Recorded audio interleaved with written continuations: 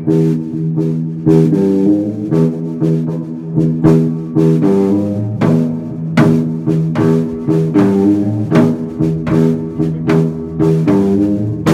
saw you make it with that